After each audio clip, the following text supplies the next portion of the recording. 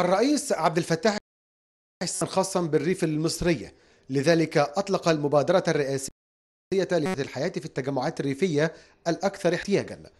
وخلال اجتماعه مع مدبولي رئيس مجلس الوزراء ووزراء التخطيط والتنمية المحلية وجه الرئيس السيسي بالتعامل مع محيف المصرية من وعمل جماعي من قطاعات الدولة ذات الخبرات تطوير للوصول إلى نماذج التطوير الجوانب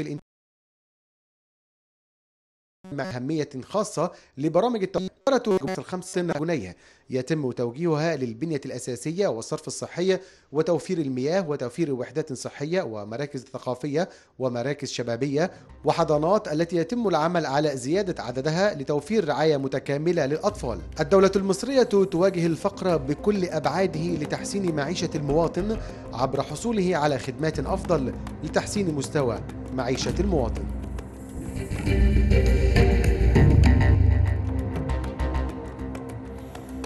أهلا بحضراتكم مرة تانية عن هذا الموضوع. ينضم لي في استوديو من القاهرة لهذه الليلة الدكتور صلاح هاشم أستاذ التخطيط والتنمية بجامعة الفيوم. دكتور صلاح أهلا وسهلا بحضرتك. مساء الخير يا فندم. مساء النور. آه برنامج حياة كريمة وألف قرية مصرية تنتظر التطوير. آه لو تضعنا في صورة الملامح التنفيذية لهذا البرنامج. هو طبعا المشروع حياة كريمة من المشروعات القومية أو البرامج القومية العملاقة التي بادر بها السيد الرئيس في يناير 2019 وكان اعتبر يعني سيادة الرئيس أن هذا البرنامج هو بمثابة رد الجميل للمواطن المصري محدود الدخل الذي تحمل على مدار يعني ثلاث سنوات ماضية. بل يمكن أكثر من 2011 هنقول مش بس فترة الإصلاح الاقتصادي من 2016 2019 نعم.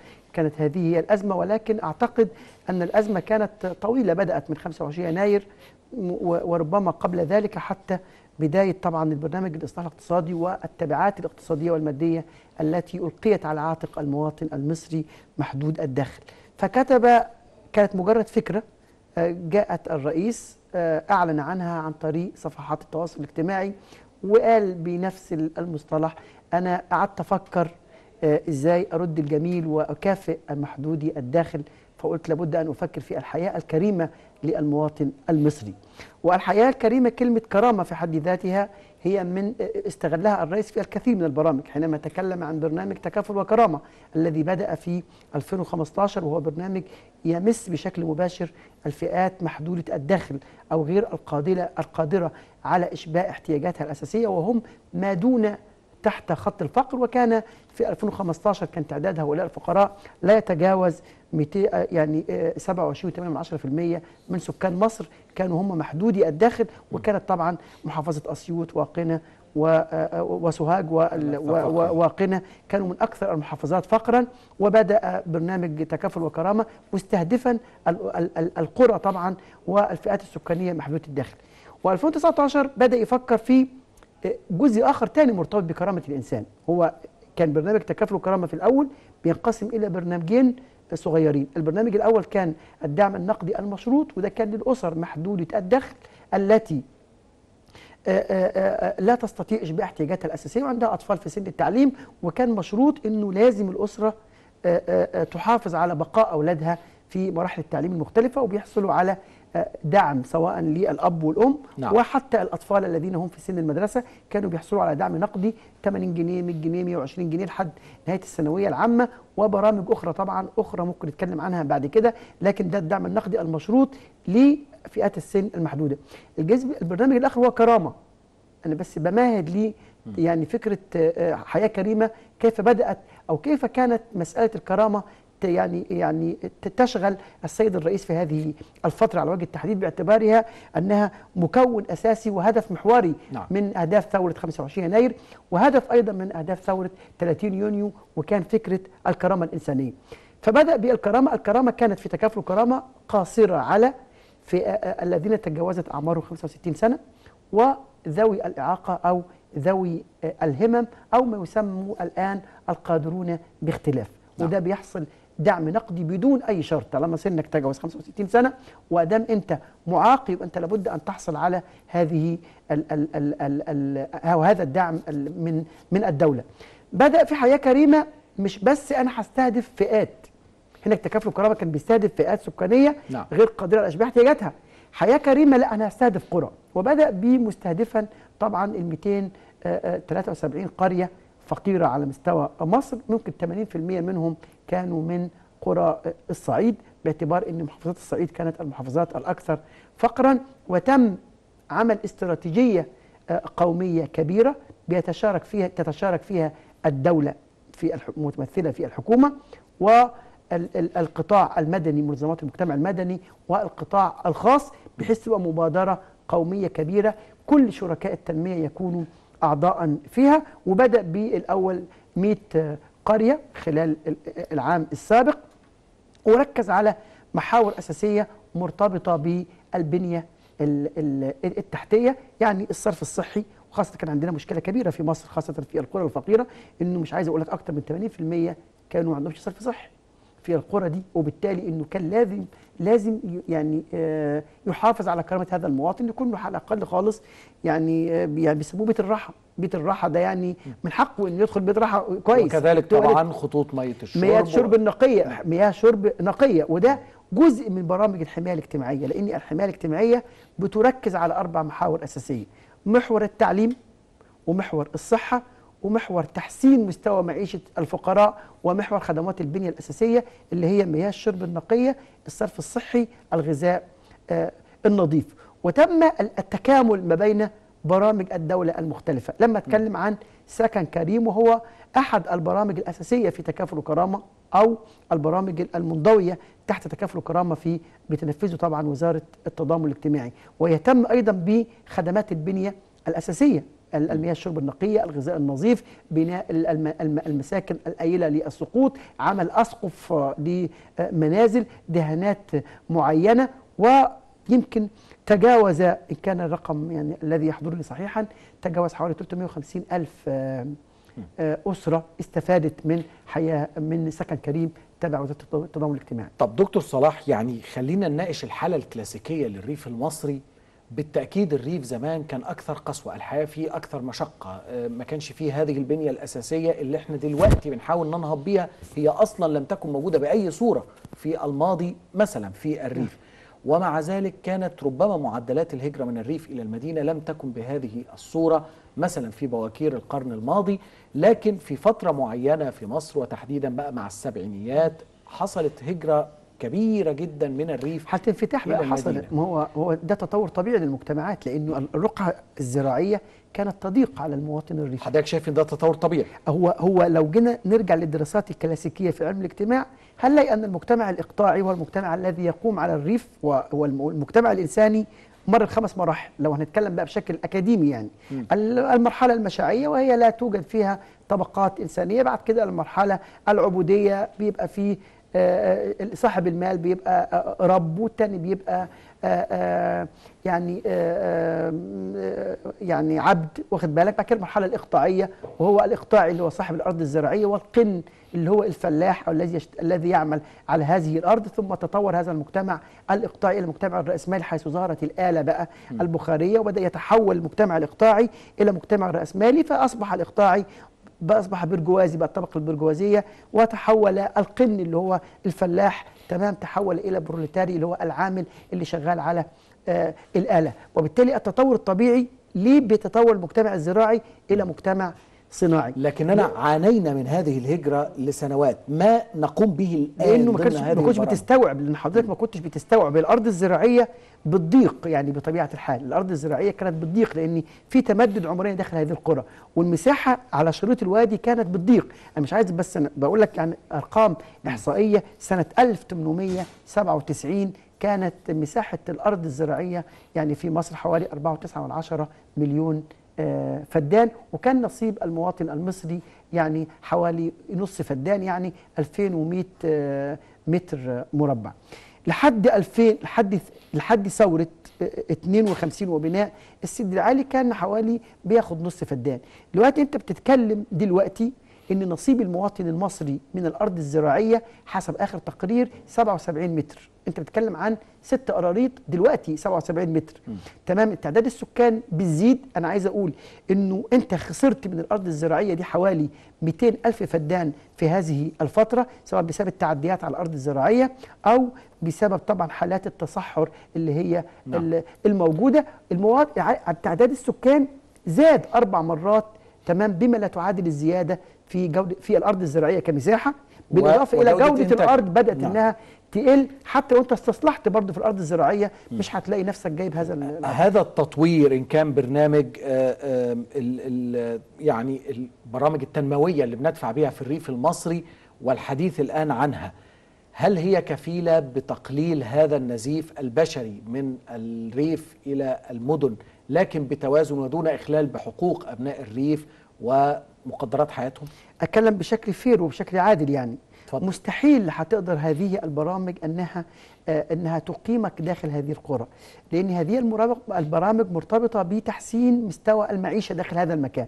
ان يقدم لك سكن كويس في مياه شرب نقية في غذاء نظيف لكن ال- ال- ال- ال- المحور الأساسي هو التنمية. عايزين نفرق يا أستاذ عاصم ما بين التنمية هي التي تغير حالة المجتمع وليس الحماية الاجتماعية. التنمية التي تنقل المجتمع من وضع سيء إلى وضع أفضل.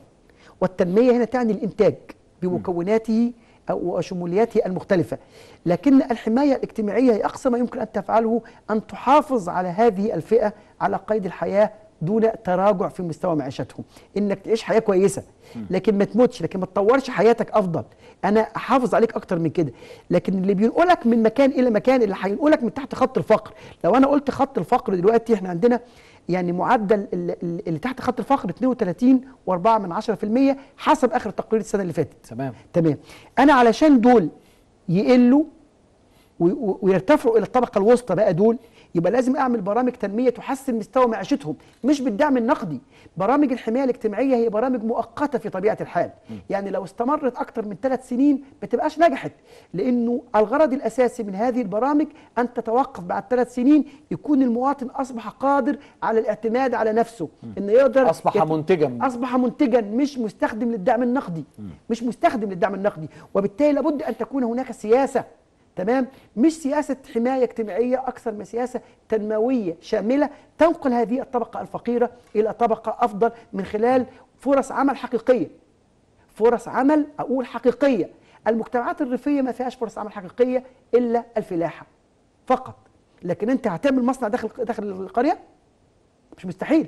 لازم هينتقل بقى إلى المدينة. تمام. يبقى لازم أنت كمدينة صناعية تستوعب تكون مهيئة بشكل أو بآخر لاستيعاب هذه الفئات اللي هي ضاقت بها سبل العيش في القرى إلى المدينة لأنه المجتمع الريفي بيتمدد بطبيعة الحال. هو بيمثل نسبة أكثر من 50% من سكان من سكان مصر.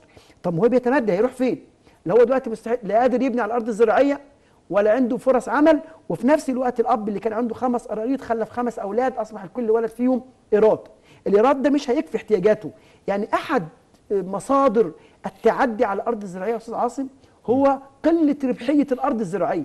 إن أنا عشان أشتري شقة غالية جدا. طب العائد اللي بيجي من الأرض أقل. طب مبني على الأرض. طب وإحنا دلوقتي لدينا مثلا ملف مفتوح مهم جدا وهو إعادة الأمور إلى نصابها في مسألة التعديات بكل أشكالها وأنواعها وهناك يعني قبضة حديدية في هذا الإطار لأن هذه حقيقة الأمر هي مقدرات هذا الشعب وحق البسطاء قبل حق ال- الأغنياء.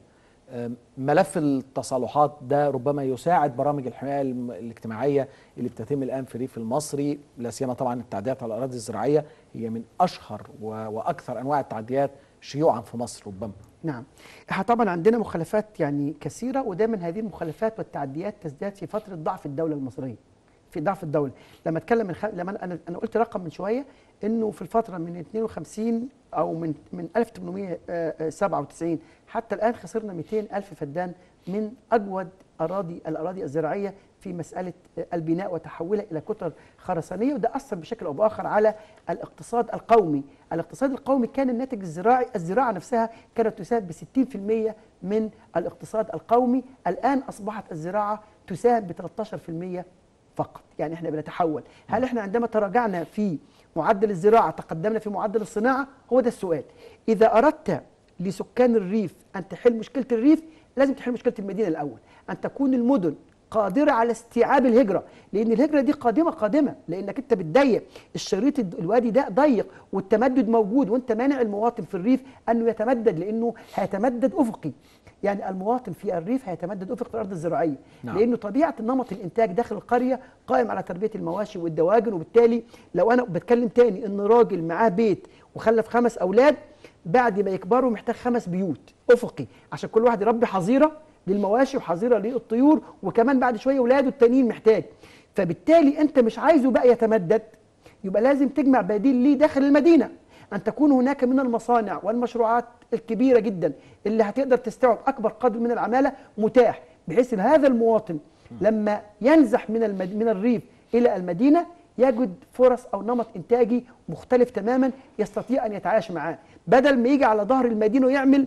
آه، آه، تجمعات عشوائية تجمعات أو- عشوائية. يبقى أنا لازم أعمل مدن صناعية وأعمل جنبها مساكن شبابية موجودة تخدم على المنطقة الصناعية. يعني أنا في تصوري أنا مش أعمل إسكان اجتماعي في الأول لا أنا أعمل مصانع الأول وأعمل جنبها إسكان اجتماعي. لكن أنا لو عملت إسكان اجتماعي وما عملتش مصنع جنب- جنبه يبقى ما حلش المشكلة. أنا لازم أجد فرص عمل حقيقية من خلال التكامل ما بين الهجرة تمام. الحفاظ على الأرض الزراعية مصانع آه، شغالة بشكل كبير إسكان اجتماعي معقول مش هقول متوسط تمام؟ يليق لا تقل عن ثلاث حجرات علشان الثقافة اللي موجودة ومراعاة البعد الثقافي. أنا أخلف أولاد وبنات وبالتالي أولاد وبنات بعد عشر سنين وفقا للثقافة الدينية هعزل بينهم يبقى لازم يكون عندي ثلاث أوض أوض للبنات وأوض للأولاد وأوضة كمان للأب والأم.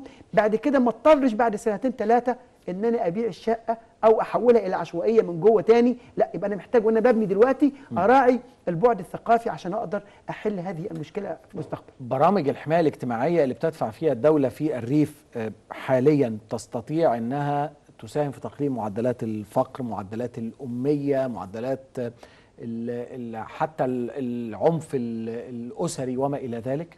آه الإجابة قولا واحدا آه. هذه البرامج لعبت دورا كبيرا طبعا في آه، آه، التخفيف.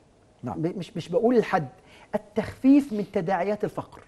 وأنا دقيق في هذا المصطلح التخفيف من تداعيات الفقر غير الحد من الفقر. أنا أول مرحلة دلوقتي في الظروف الصعبة جدا اللي بتمر بها البلد دي نعم. أول خطوة إن أنا أقلل من التداعيات. وبعد كده في المرحلة الثانية لازم أبدأ أحد من الفقر. مش هبدأ طول الوقت إن أنا أعالج التداعيات. مش هينفع. أنا لازم الدولة تبدأ أول مرحلة إنها تخفف من التداعيات اللي موجودة على المواطن العادي من خلال تسهل له سبل التعليم رعاية صحية كويسة تخفيف العنف رفع معدلات الأمية. كله ده تخفيف من تداعيات الفقر. لكن عشان تحد من الفقر إنك لازم تنقل هذا المواطن الفقير من طبقة إلى طبقة تانية. وده محتاج استراتيجية تانية. مش حماية اجتماعية لأ. هو المفهوم بقى التنموي للحماية الاجتماعية. إن أنا أقدر يكون في مستوى معيشي كافي نعم. لإشباع هذه الاحتياجات نعم. وعنده جزء على الادخار. عايز تعرف أنت ماشي صح ولا غلط؟ شوف معدل الادخار قد إيه في الأسرة. لو لقيت معدل الادخار 25% اعرف إن هذه الأسرة مصيرها في يوم من الأيام مش هترجع معدل الفقر تاني هتنتقل من الفقر. لكن لو لقيت معدل الادخار صفر إنك أنت اللي بيجي على قد اللي رايح يبقى أنت هنا مش فقير. تمام؟ في مفهوم ثالث اسمه المهددون بالفقر. المهددون في الفقر بين بين. لا يعني- هم لا هي الفئة غير القادرة على الادخار. لأنك أنت طول الوقت اللي اللي جاي على قد اللي رايح. يبقى لازم يكون عندك جزء تدخره تمام. علشان تخرج من نقطة التهديد اللي هي موجودة. وأنا لازم وأنا بخطط بقى لسياسات الحماية الاجتماعية وأخطط للتنمية لازم أراعي الفقراء والمهددون بالفقر. ودي ودول أخطر مرحلة في تصوري ودول الأكبر والأعرض. أنا بشكر حضرتك. شكرا جزيلا على وجودك معنا اليوم. دكتور صلاح هاشم أستاذ التخطيط والتنمية بجامعة الفيوم. شكرا جزيلا لك. شكرا. لحضراتكم مشاهدينا الكرام على متابعتنا في هذه الحلقة. في من القاهرة ونلقاكم على خير ونفس الموعد غدا بإذن الله تعالى على شاشة النيل للأخبار. بعد فاصل قصير جولة في أبرز عناوين ومنشطات صحف مصر الصادرة لصباح الغد. وزميلتي ميرفت المليجي فانتظروا.